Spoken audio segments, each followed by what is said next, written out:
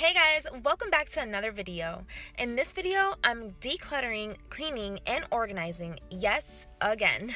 You guys, my bathroom accumulates so much junk. Product buildup, to be honest. Things I've bought and didn't like, or impulse buys. So I just need to do a good purge and get rid of things. What I'm gonna do first is take everything out so I can sort through and eliminate. During this process, I'm making a note of what I've used up and a sort of inventory. So that way, next time I'm wandering around CVS, I know what I need and what to stay away from to avoid future product buildup. So next I'm just gonna wash everything with just soap and hot water and set them out to dry.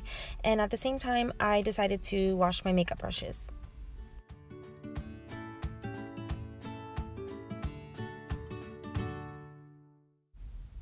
So y'all have seen me use this product before. It's the Amazing Whip It and I really like this product. It's all natural and it leaves a light citrus clean scent. So I had a perfume bottle break at the bottom of my medicine cabinet and it left a really harsh stain. I tried the Amazing Whip It and it didn't get it out so I decided to just cover it up with some liner and you'll see at the end that it came together really cute.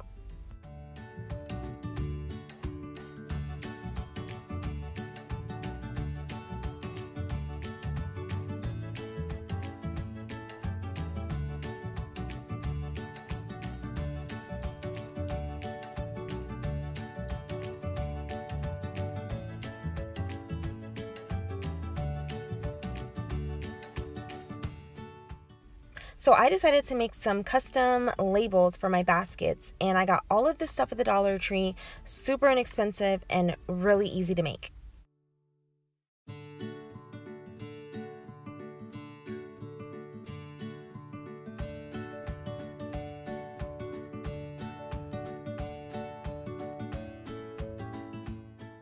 Okay, so now I'm just wiping down some surface areas of my bathroom. I'm gonna go ahead and switch out my toothbrush, my soap, all the things that I normally do when I clean my bathroom, and this shower curtain. This shower curtain had to go.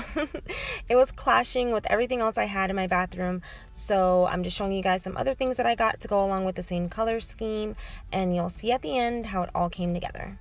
I got this caddy for 96 cents at Walmart. I thought it was super cute and affordable, and I really liked the color, so this is the one that I went with.